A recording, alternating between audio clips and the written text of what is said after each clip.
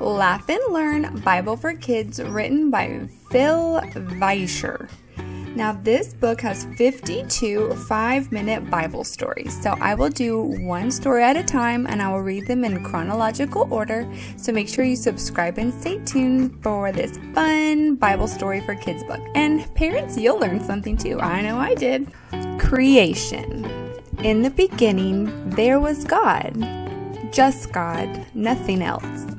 No trees, no hummingbirds, no ants, no stars, no galaxies, no mountains, no whales, no bats, no kids, no grown ups, no grandmas or grandpas, no caterpillars, no lakes, no oceans, no horses, no elephants, and no frogs.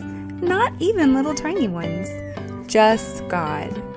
You might think he was lonely in all that nothingness, but God wasn't lonely because God wasn't alone. You see, God is like us in some ways.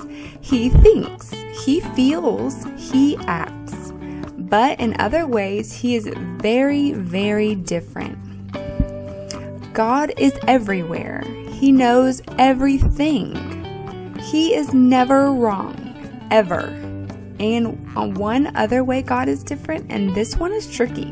God is more than one. There is one God, but there are three persons in God God the Father, God the Son, God the Holy Spirit. Three persons in one God. I told you it was tricky, and that is why God wasn't lonely, because he wasn't alone. There is love within God. There is friendship within God. There is family within God.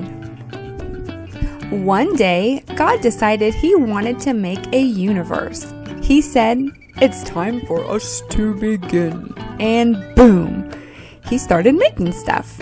Why? Because it made Him happy. God made shining stars and the big burning sun. He spun galaxies and solar systems and planets. Then he picked one particular planet and said, Watch this. And boom, he made mountains and oceans and lakes and streams.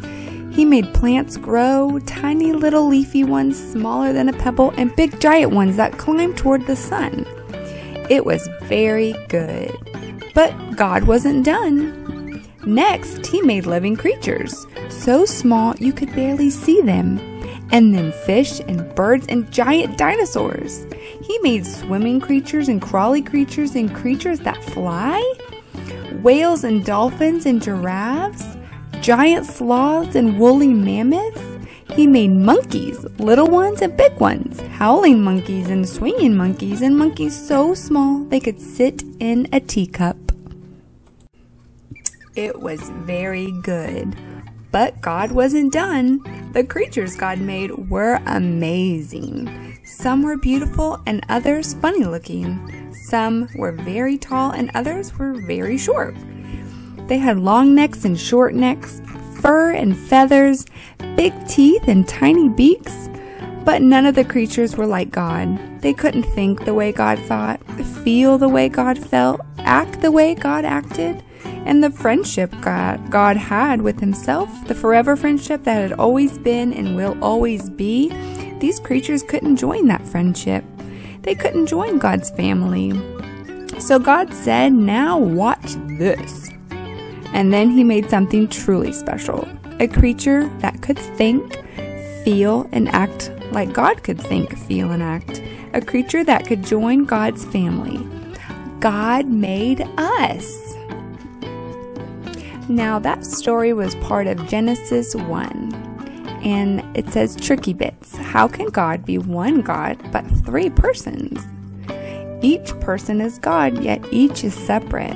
Tricky, right?